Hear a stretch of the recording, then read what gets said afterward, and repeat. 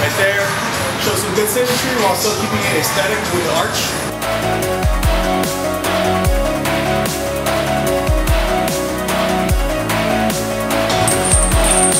Got that pump? Yeah, try to.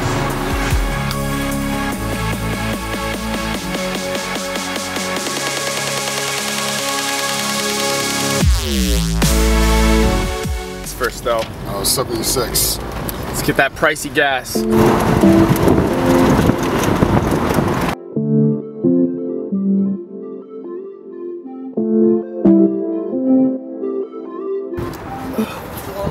Mr. Free. How you live?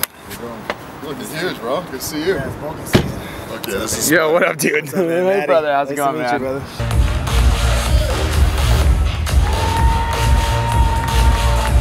got my post-workout protein shake, my aminos and carbs. I drink carbs while I work out certain days, depending on what the body part is. Got some wrist wraps for Mattie, my amino caps for Daring. Then you gotta have your belt. Belt. So we got this Thread X belt. Look at that cheese. That's so good. That's that's pretty, huh? No, no one's tough when faced with time. We waste our lives lying we're fine. We step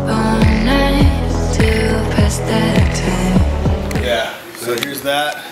Oh, thank you. Take. I only have one of these, but then I have You some got a single pack? Yeah. What do you guys like? Uh, for vanilla, peppermint, strawberry, or uh, grapefruit? You get that strawberry, bro. Yeah. Okay. What do you want? I'll do a grapefruit. Oh yeah, it's cool. Awesome, man. Oh, yeah, it's IFBB Wheelchair Pro.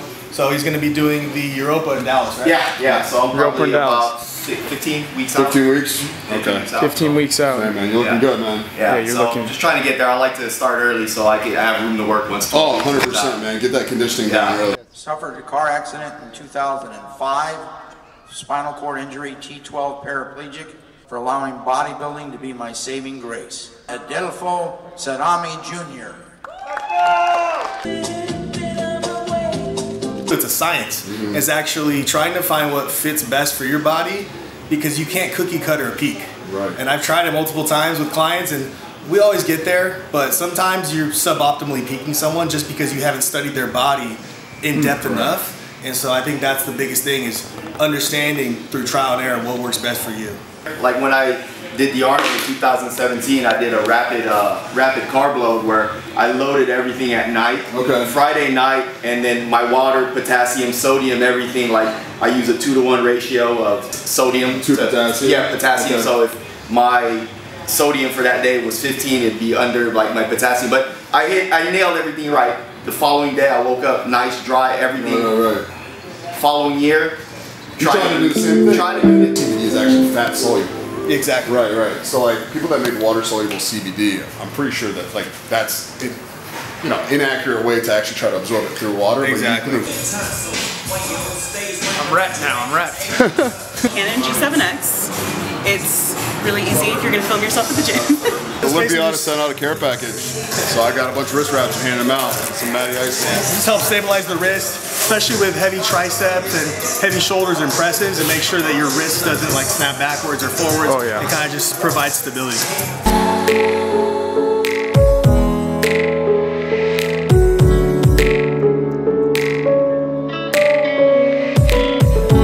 How to do a proper dumbbell lateral raise. I see people doing the straight arm. Okay, that's one variation. Activates the trap more. I see a lot of people doing this. Okay, and what this is gonna do, your radiobrachialis, like right here, your forearm muscle, you're kind of using that more than you're activating your deltoid. So what we're trying to do is drive through the elbow and kind of just like shrug, like this, holding the dumbbell in your hands. So that way your wrist stays below your elbow and your elbow is in line with your shoulder. And that's gonna get the maximal contraction of the medial deltoid head, right? You got a wire attached to your elbow that's pulling it up. That's go. it. Let's see That's this. what we got right here. You me get fancy. Okay, keep my hands slightly below my elbows. My medial deltoid head, and I can get that deeper muscle activation. That's how your body build. You activate the muscle. We don't care about how much weight we move. We care about moving the weight and stimulating the muscle. Moving the weight and stimulating the muscle. That's what it's all about. Walker, how many weeks out are we? 12 weeks out. No, no one's tough when faced with time. We waste our lives lying we're fine. Actually looking like I work out now. It's bodybuilding, man. Change every 10 minutes. But they're paying the money. Yeah. Everyone.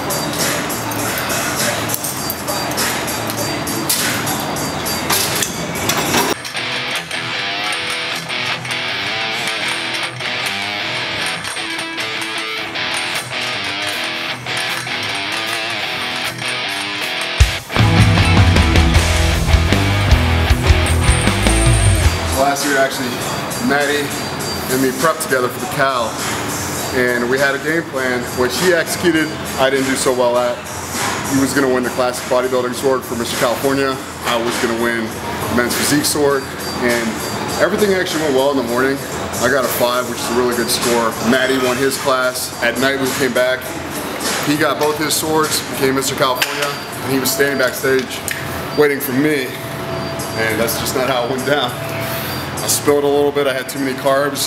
My abs washed out, and you know, that's how I have to eat it until this this year. Explain what spilled means. Your body, your muscles have so much glycogen storage. That means that's where they're storing the carbs in the muscle. So you you don't really know how many carbs your body can store on any given day. You're basically guessing through past experimentation. You know basically around how many carbs your body can take. But if you get, you know, as Mattie says, even 10 grams too many, spill. The carbs can't go inside the muscle to make you look fuller. They have to find another place to go, and usually they end up going between the skin and the muscle. You want to elaborate? Yeah, man. In a sport where we want to push our bodies to the limit, sometimes it can get misconstrued that more is better. So we want more carbs and we want more reps.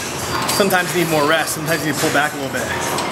And it's like, why risk looking 30% worse just to be 10% better?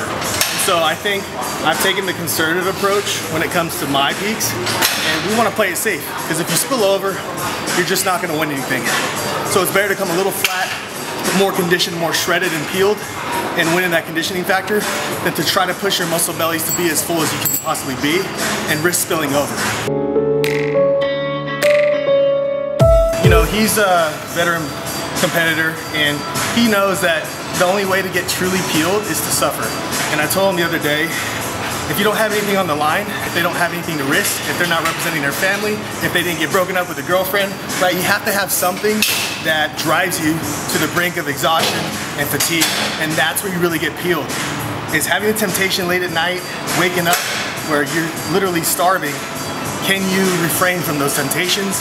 Can you truly bring out that conditioning? I think last year the answer was he kind of cruised into the shows eating a lot. The year before he was peeled. So this year it's time to suffer. It's time to bring out our best. That's what you gotta do. That's right. That's what we got to do.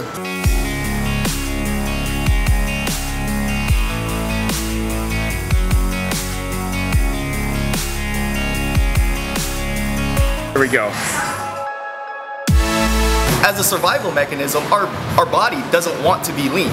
If you look at, you say back in the Stone Ages, the caveman, you know, when, you know, the hunter-gatherer days when they made their hunt, you know, if someone like me, Mattie or Walker would be walking around in the Stone Ages, we'd probably die like within the next week because we don't have enough body fat to protect ourselves. The people who had enough body fat were able to survive, you know, so your body doesn't know that you're preparing for a bodybuilding contest or you're trying to get shredded for the summer. All it knows is like, oh shit, he's, he's starving. So let's make these adapt metabolic adaptations. You know, what it does is when your body's going to adjust, it's pretty much gonna slow your metabolism down, do everything to prevent you from losing any more weight. So I try to eat as much calories as I can and then where, you know, say a little above maintenance, then gradually. Ideally, you wanna lose maybe, uh, you know, about depending how lean you are, one to two pounds a week would be your gauge. If you're leaner, maybe 0.5 pounds a week, you know, and then just slowly go from there because now you're laddering down. You're giving your body time to adjust, adjust, adjust, rather than, oh shit, 1,200 calories. Hell yeah. You gotta eat when you're not hungry. That's how we grow. When you're not hungry. That's how you get those pumpkin bells home. That is. You gotta eat when you're not hungry. Those don't even look real, man.